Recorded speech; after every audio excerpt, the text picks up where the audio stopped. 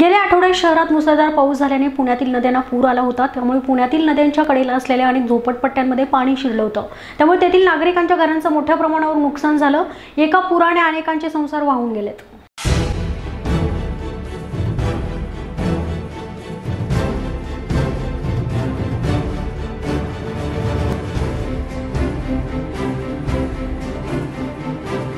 पुण्यातील सर्वच धरण भरल्याने मुठा नदीपात्रात मोठ्या प्रमाणात पाण्याचा विसर्ग सोडण्यात आला होता.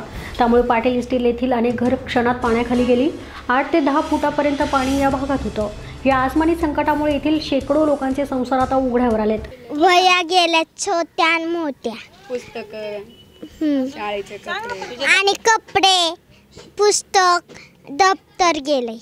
मग आता तू अभ्यास कशी करणार आहेस? वया नाही तर अभ्यास ना करणार मी.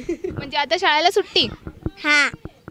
पहाटेच्या सुमारास अचानक पाणी आल्याने येथील नागरिकांना कुठलंच सामान घेऊन बाहेर पडता आलं नाही. त्यामुळे घरात असलेले सर्व सामान पाण्यात गेले. अनेकांचे टी व्ही फ्रीज या पाण्यामुळे खराब झालेत. तसेच घरातील सामान देखील अस्तव्यस्त झाले मात्र येथील नागरिकांना अद्याप ही मदत मिळालेली नसून येथील नागरिक अद्याप ही मदतीच्या प्रतीक्षेत आहेत. गेल्या अनेक दिवसापासून पुण्यात सतत मुसळधार पाऊस सुरू होता. त्यामुळे धरण क्षेत्रात स मुसळधार पाऊस पडल्याने संपूर्ण धरण पूर्णपणे भरलं होतं आणि खडकवासला धरणातून जवळपास पंचेचाळीस हजार क्युसेक पाण्याचा विसर्ग मोठ्या नदीत सोडण्यात आला होता. मात्र नदीकिनारी असलेल्या पाटील इस्टेटमध्ये ह्या पुराचं पाणी शिरलं असल्याने ते तेथील बहुतेक संसार हे आता उघड्यावरती आलेले आहेत. आपल्यासोबत पाटील इस्टेटमधले काही रहिवाशी आहेत. आपण त्यांच्याकडनं जाणून घेऊयात. मावशी मला सांगा जेव्हा नदीत पाणी सोडण्यात आलं होतं त्याच्या अगोदर प्रशासनाकडनं काही सांगण्यात आलं होतं का की नदी नदीपात्रामध्ये पाणी सोडण्यात आलं येतं हो, सांगण्यात आलं होतं. ते मान्य आहे. पण आम्ही काही संसार संघाने नेले. आम्ही फक्त आमचे जीव वाचवले आम्ही बाहेर पडले. आमचे संसार काय दहा पाच रुपयांनी कमवलेल्या वस्तू आहे ते सगळं आमचे वाया गेलेले.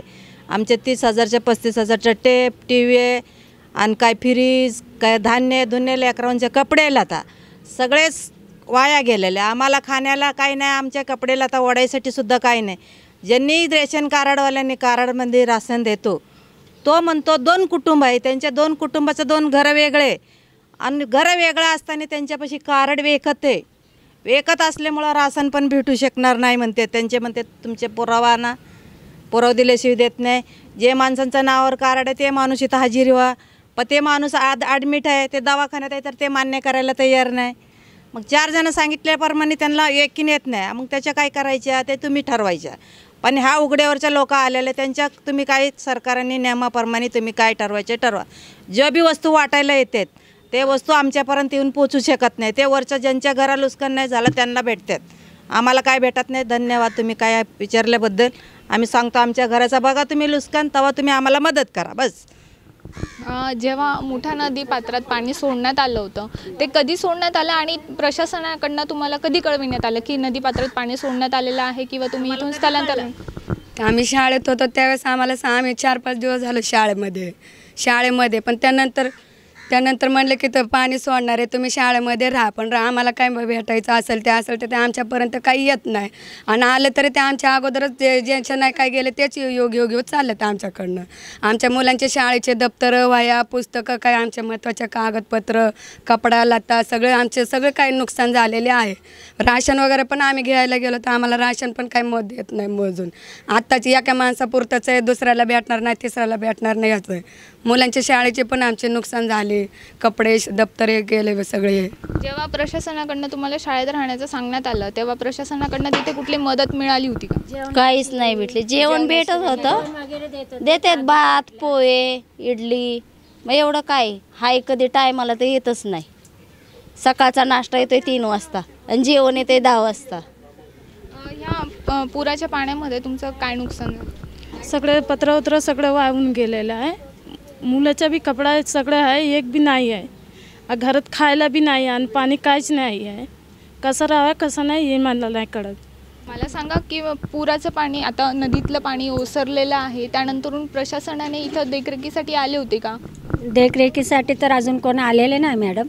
तरीसुद्धा येणारे येणारे असं आश्वासन देतात येत तर काय नाही. द ए- एक वेळची नाही ध लय वेळाची गोष्ट झाली. काय आमच्यासाठी ते काही मदत करणं हे तर त्यांचं आहेच नाही. ज्यांच्याकडं आहे जे अध्यक्ष आहेत त्यांच्या हातात ते देतात आणि त्यांचा कारोबार त्यांच्याच घरांनी राहतात. ते आमच्यापर्यंत येऊन देत नाही. म्हणायचं तुम्ही स्वतः येऊन आमच्या काय मदत करायची तुम्हाला गोरगरिबांना कुणाला? तर त्यांनी घरी येऊन बघून द्यावा बघून द्यावा. का घराची हालत बघून द्यावा एवढंच आमचं म्हणणं आहे. बाकी काय नाही. प्रशासनाकडनं तुम्हाला काय अपेक्षा आहे? आम्हाला अपेक्षा अशी आहे की या काही द्यायची वस्तू असेल तर आमच्या घरापर्यंत आणून द्या. याच्या त्याच्या हातात द्यावं नाही. आम्हाला ही अपेक्षा आहे. का तर तुम्ही लोकांच्या हातात कारभार देता. ते आमच्या पत्र पोहोचत नाही आहेत वस्तू. लोक लोकांची तोंडं बघू बघू त्यांचे घरं भरतात. आमचे घरं काय आम्हाला प- आमच्या पत्र काय येतच नाही आहे वस्तू. आमच्या लेकरा बाळांची पुस्तकं वह्या दप्तरं सगळे वायाला गेलेले. आमचे लेकरं लहान लहान आहेत. आमच्या घरात काय असे सामानं पण नाहीत की चला त्यांना लगेचच पाठवायचं. एवढीच आमची अपेक्षा आहे. कुठली पण वस्तू येऊ द्या. आम्हाला घरं घरं आम्हाला आणून द्यावी. हीच आमची अपेक्षा. दुसरी काही नाही आहे येथील नागरिक अजूनही प्रशासनाच्या मदतीची अपेक्षेवरती आहेत. आता प्रशासन यांच्या मदतीला कधी धावून येतं हे पाहणं तितकंच महत्त्वाचं ठरणार आहे. कॅमेरा पर्सन सुमेत सह वर्षा हिरे दिनमान न्यूज पुणे.